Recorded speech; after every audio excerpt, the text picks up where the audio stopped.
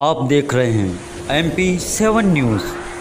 सच तो सच है, हर खबर सत्यता पर आधारित। देखते रहिए एम पी सेवन न्यूज़।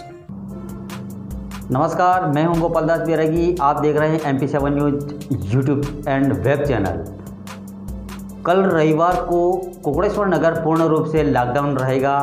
यह लॉकडाउन पूर्ण रूप से स्वैच्छिक है। यहाँ के नगर के व्यवसायी संगठन के माध्यम से आह्वान किया गया है कि समस्त प्रकार के व्यवसाय को कल यहाँ पे पूर्ण रूप से बंद रखा जाएगा, जिसकी सूचना भी नगर परिषद कुकड़ेश्वर के माध्यम से नगर में दी जा चुकी है।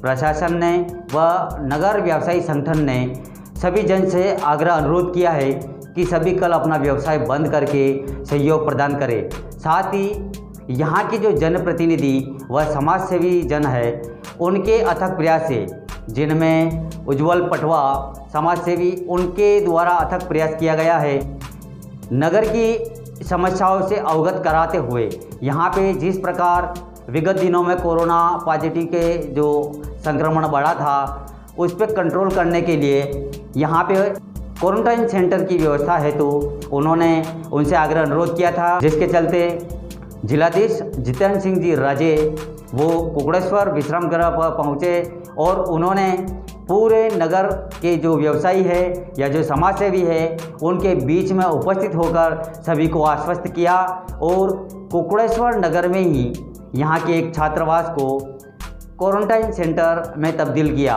यहाँ पे पूर्ण रूप से व्यवस्था लागू की गई है। व्यापारी संघ ने व नगर परिषद व पुलिस प्रशासन सहित स्वास्थ्य विभाग ने सभी से आह्वान किया है कि आप निसंकोच यहाँ पे आए और अपनी जाँच करवाएँ और पूर्ण रूप से इस क्वारंटाइन सेंटर में उपस्थित होकर पूर्ण रूप से स्वास्थ्य लाभ ले। सभी से अनुरोध है कि कल रविवार को कुकड़ेश्वर नगर में पूर्ण रूप से जो स्वैच्छिक लॉकडाउन रहेगा, इसमें सब अपनी सहभागिता निभाए।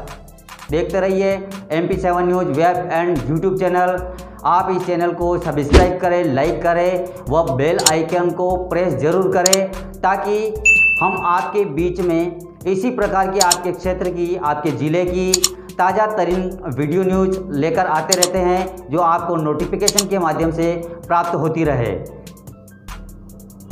पिछले कुछ दिनों से कुकड़ेश्वर नगर में जो कोविड के कारण घटनाएँ हुई और दुर्घटनाएँ हुई, कुछ हमारे मित्र परिजन जैसे कोविड के शिकार हुए उसका संज्ञान लेते हुए पूरी प्रशासनिक टीम, माननीय कलेक्टर महोदय, एसपी साहब, चिकित्सा विभाग है, सीएमएचओ, बीएमओ और अन्य अधिकारियों ने आकर कुकड़ेश्वर के लोगों को यह विश्वास दिलाया कि इस परिस्थिति में पूरी व्यवस्था कुकड़ेश्वर के साथ है। साथ ही साथ जो हमारी मांग थी कि कुकड़ेश्वर नगर में एक क्वारंटाइन सेंटर बना दिया जाए, उसको उन्होंने स्वीकार किया। यहाँ एक होम क्वारंटाइन सेंटर चालू किया और कुकड़ेश्वर के लोगों से अपील की है कि आप जो मरीज़ हैं, उनको चिन्हित कर लीजिए। चिन्हित मरीज़ अगर एक बार होम क्वारंटाइन हो गए, उनका इलाज हो गया तो बाकी पूरा नगर सुरक्षित हो जाएगा। और जिस तरह से कोविड से हमारी सरकारी व्यवस्था लड़ रही है। गाँव के सब लोग मिलकर लड़ें। यही से हमारे कलेक्टर महोदय ने सरकार की ओर से अपेक्षा की है।